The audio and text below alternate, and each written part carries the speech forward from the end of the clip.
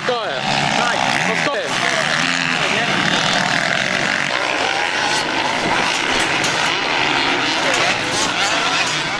You got him there, Pete. You got him.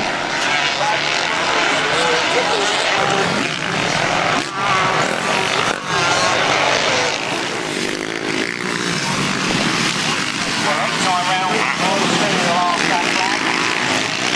Aware, group, sea riders.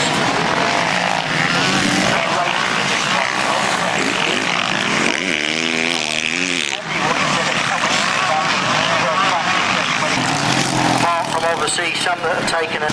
Well, somebody once said that motocross riders were some of the most